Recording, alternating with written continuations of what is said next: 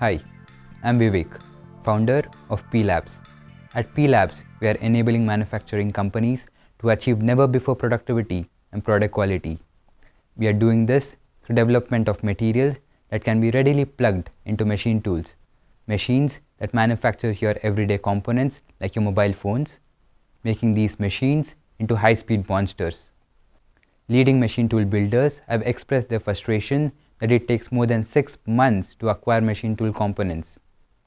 Machine tool users have echoed the demands for high-speed machining for simple reasons of decreasing costs and increasing functionality.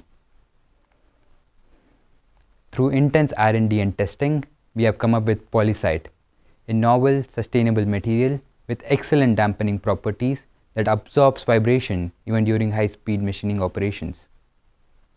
This gives a better product quality and increases the lives of cutting tools. We provide solutions such as structural materials for machine tools that can be retrofitted into a new or an existing standalone machine. Polycite also finds application in metrology devices, pump bases where vibration isolation is critical.